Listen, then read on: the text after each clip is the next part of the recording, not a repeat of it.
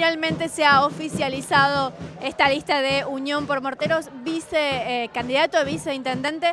¿Cómo te estás preparando para este mes que se, que se aproxima, mes intenso de cara al 14 de abril? Nosotros hemos venido trabajando ya hace varios meses en el armado puntual del equipo, de las propuestas eh, para las próximas elecciones y bueno, después de, eh, charlarlo con el resto del grupo, eh, en lo personal también con mi familia, con mi esposa, para terminar de tomar esta decisión, he decidido sumarme, acompañar a Germán, sabiendo sus cualidades, sabiendo que es un hacedor, un gestor, conociendo su forma de trabajo. He trabajado con él ocho años desde distintos lugares en el departamento ejecutivo así que sé que eh, es la persona eh, indicada para que Morteros vuelva a la senda del progreso. Morteros necesita muchas obras.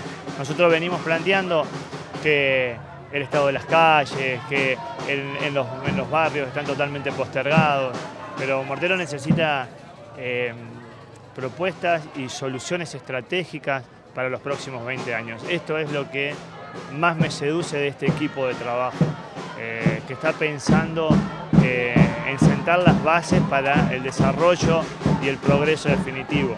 Las bases en la salud, en la educación, eh, lo que genera empleo, lo que realmente sean decisiones estratégicas y no parches que eh, solucionen hoy un problema para que mañana sea mucho peor. Me siento preparada, eh, fue charlado, fue consensuado, el equipo presenta y lleva de estandartes ideas que son ideas mías. Entonces, como bueno, fue todo muy natural eh, y bueno, es un lugar que, que lo agradezco muchísimo, que lo agradezco muchísimo y que voy a hacer todo lo posible, todo lo que esté a mi alcance para cubrir las expectativas de la gente que, está en el equipo y también de la gente que nos apoya. El movimiento de las mujeres eh, está planteado sin ningún lugar a duda como el agente social, el agente político de los últimos tiempos. Yo creo que las mujeres estamos preparadas, estamos capacitadas eh, para ocupar ese lugar, para tener ese rol. Es momento que nosotras vengamos a, cuestionar muchos status quo que están, están planteados, muchas maneras de pensar, muchas maneras de actuar. Me parece que las mujeres eh, les damos otra mirada y podemos desde ese lado sumar.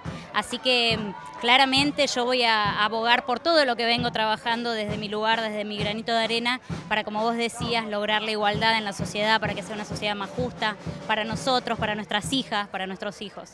Cada uno de los barrios tiene su problemática, tiene sus sueños, tiene sus necesidades.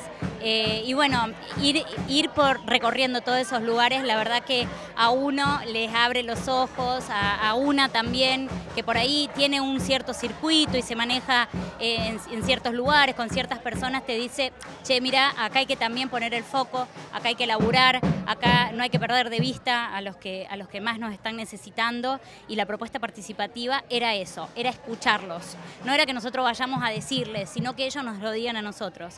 Y bueno, y Germán en su discurso también él dio cuenta de varias propuestas participativas que salieron de, esta, de esta dinámica y que la verdad son fantásticas. Yo venía militando, eh, yo vengo de la parte del kirchnerismo, siempre milité en el kirchnerismo y bueno, y acá Mortero se llegó a una unión de, todo, de todas partes, del kirchnerismo, todo, como se llama Unión por Morteros. Eh, y bueno, me acerqué y, y, trabajo con Germán porque lo veo que es una persona que puede traer un progreso mortero que lo veo que está medio estancado, ¿viste?